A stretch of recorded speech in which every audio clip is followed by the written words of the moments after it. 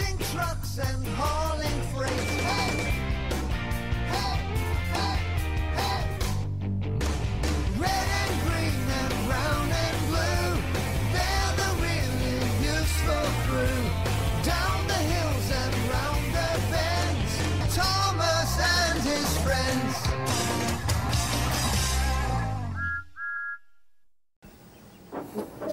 Billy was enjoying life on Sir Topham Hatt's railway. He was very impatient at first, but he began to learn slowly about being a useful engine. Sir Topham Hatt decided to pay him a visit. Your work in the yard has been improving, Billy.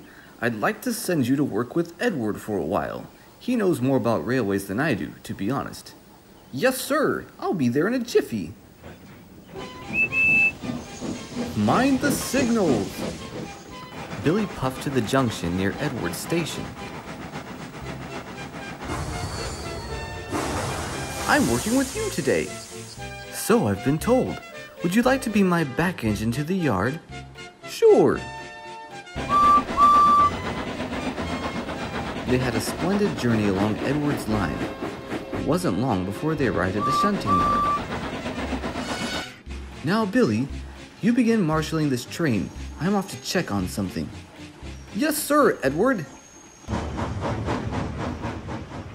I like Edward. He doesn't tell me how to do things all the time. All right, Edward. Time to do damage control. Edward puffed to the other side of the yard.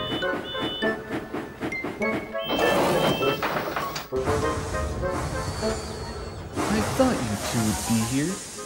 Oh, we're not. We're only ghosts. Ooh.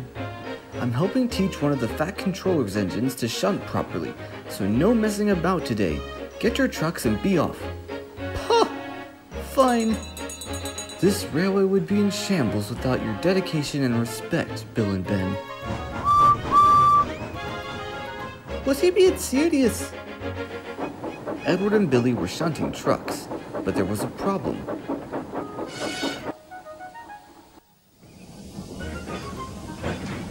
Oof! Hum dum de dum. Billy, are you making sure the truck's brakes are set before you let them go? Huh? You need to let the shunter fasten the brakes before you release the trucks, or else they'll go rolling around the yard. Bah, I know what I'm doing, Edward. I've been shunting here for a while now. It's a wonder you've made it this far. Edward tried to be patient, but Billy was hard headed. He had his own way of doing things. Trucks don't roll unless you push them. Yes, but not all yards are flat. It's a safety precaution. Safety. What matters is getting the job done fast. What do I do? Reasoning with Billy is about as useful as talking to a rock. You need to push them harder, Ben. You need to keep your funnel out of my business. Oh no, I've had a terrible idea. He puffed over to the twins.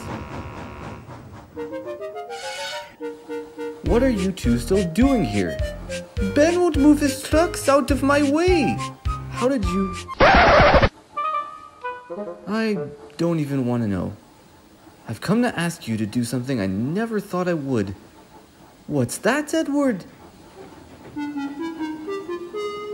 I need you to cause trouble. Later, Billy was almost finished arranging trucks to take back home. Billy, I'm going to pick up trucks from the scrapyard. I won't be gone long. All right.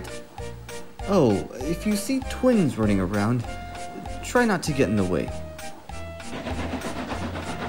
Twins? What twins? Billy still hadn't listened to Edward about applying the brakes properly on the trucks. I think I'll get some water before I leave. That's what silly Thomas would tell me to do. Bill and Ben sneaked into the yard. Now's our chance! Oh ho ho! I love being naughty! Maybe Edward's not such a fusspot after all. It's just because he's found someone worse than us. We'll have to change that. No one can cause more confusion than we do. It's not allowed.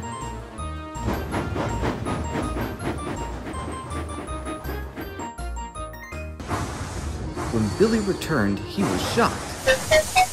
Oh no! Where are my trucks? They must have rolled away. I must find them. Billy scurried up the line after his lost train.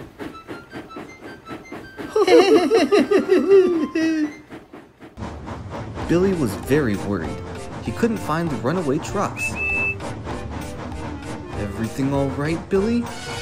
Oh, Edward! Edward! I've lost my train. I should have listened to you. Now they've run off, and I've no idea where they went. I'm so sorry. Now the fat controller. Oh, calm down, Billy. I'll help you find them. Follow me.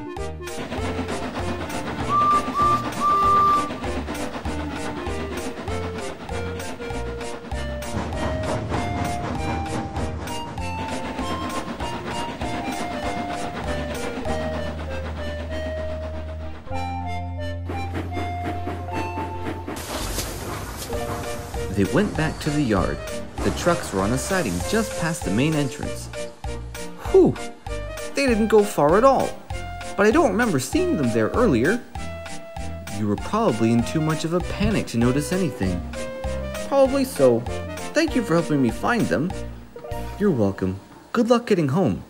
Oh, and Billy, you didn't spot any twins, did you? Why, no. Should I help you find them? Oh, never mind.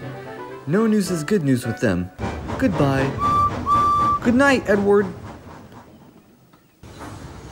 I never thought I'd say this, but given the situation, you two are really useful engines, and a credit to your, um, disposition. We're getting a depot station? Oh boy! It's about time we got our own station. Alright, that's it. Get back to the clay pits, you two.